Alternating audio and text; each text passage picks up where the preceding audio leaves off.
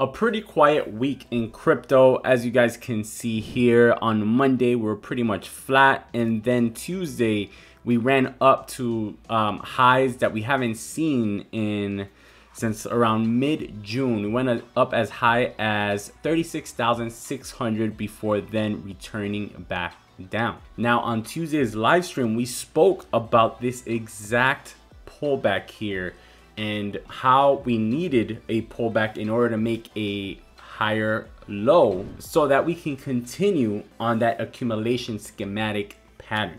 So today we're gonna go ahead and take a look at that and see what we can expect this weekend. Let's dive right in.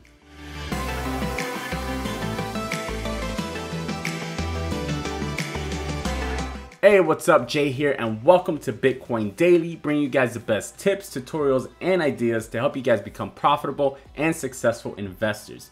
The goal of this channel is to empower you, the community, with the knowledge and resources to get up to that next level. So, make sure to smash the like button if you enjoy this video, and if you're new here, don't forget to subscribe. So, I want to start this video off with a big, big thank you to all of you guys that are subscribed to the channel. We finally reached that 10,000 subscriber milestone.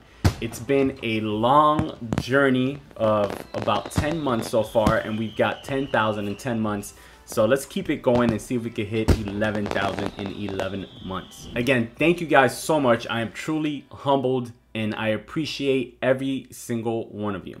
So you will see that over the last 24 hours, the market is more or less green slash pretty much flat really. Over the last seven days, we are pretty much in the green though. Fear and greed index is still in extreme fear, currently at 21. So currently, you will see that we're just below that 35,000 level that we've been uh, speaking about, uh, currently at $33,000. Now, is that bullish or bearish is probably what many of you have are asking right now and have been asking. So I'm going to say that this is bullish and here's why. Remember we spoke about this current pattern right here where we've been, we had a low, higher low, and then we spoke about this on Tuesday where we were looking to set a new higher low. So as long as we were above this price right here, the pattern is still intact. And that's currently where we've been. So the bottom here is $30,000. As long as we don't go all the way down to $30,000, this pattern is still intact. Uh, you'll see that we've also been hitting highs and higher highs with lows, higher, higher lows, and even higher lows. So this pattern is still intact here. This is all part of the process. We're still good here. Now, that main level is still going to be here, 35K. We still need to get above 35K, but it is possible for us to still, you know, to, re to pull back a little bit more, maybe even as low as 32,000 or something like that, right? So let's go ahead and take a look back at that Wyckoff accumulation schematic that we've drawn up here. We've moved it around a little bit to kind of fit with the schematic here. You can see here, we have it set up exactly how it is here. So currently we're in phase C, which is called the spring and test, right? And if we look here, phase C, the spring and test. So the test is, let's see, the spring goes below the supports, below the selling climax, moves up, does the test, right? So let's see, we have the spring where we went below the selling climax, then we went up and we did the test. We, we touched that bottom support, right?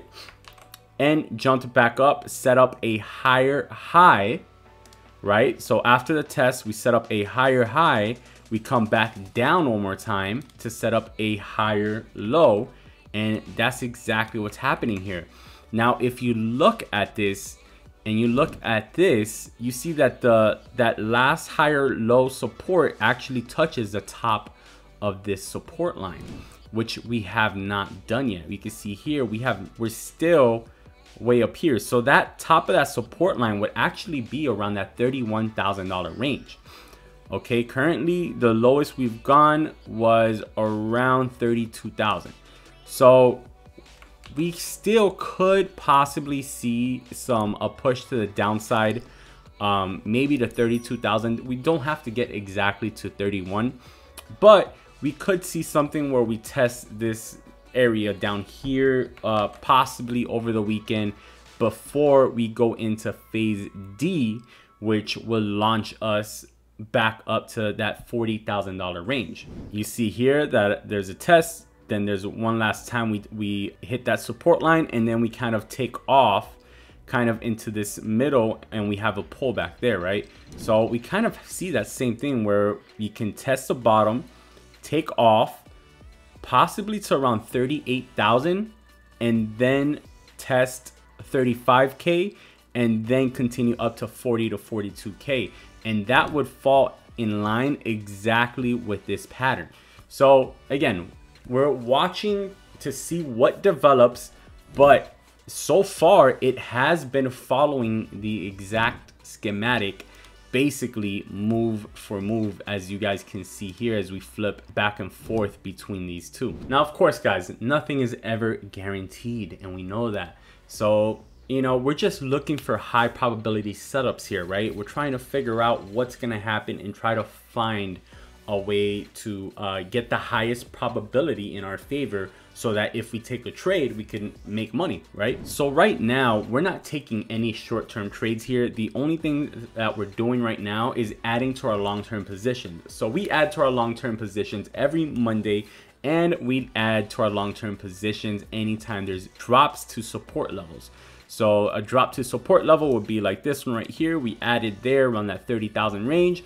And again, down here, that $28,000 range two different support and strong support levels and we added on both of those. So those two we add for our long term. Then uh, moves like we had this week where we broke above 35,000. That's where we take short term trades with leverage to make some extra profits and make some extra Bitcoin. Now, when there's no setups, we can't take trades, right? So right now what we're doing, we're just kind of watching. We're not looking to enter anything here because that's just the middle of nowhere, right? So what we want to see is a break above 35K right? If we get a move back up and above 35K, that'll kind of print this as the new higher low. And we should theoretically be expecting a higher high here. So that higher high beyond 36 will probably be $38,000. So that's the trade that we're currently looking for, a bounce back above 35,000 and we would take that with that momentum and write it up, try to write it up to 38,000. Now, a push back down, like we said, you know, at that point, we're only adding to our long-term positions. We're not taking any short entries. We're not taking any leverage entries, period there. Um, but if we see a push below 30,000 or below 28,000, especially 28, we could possibly be looking to take some short leveraged entries. But again, these are a little more on the riskier side so you have to be careful there because with a move back down to 30 or 28 there will be a lot of volatility involved in that move. That's pretty much it guys. Thank you guys so much again. Um sorry that we haven't been able to put out more content this week. We've had a few issues that we've been having to resolve this week so um thank you guys for your patience.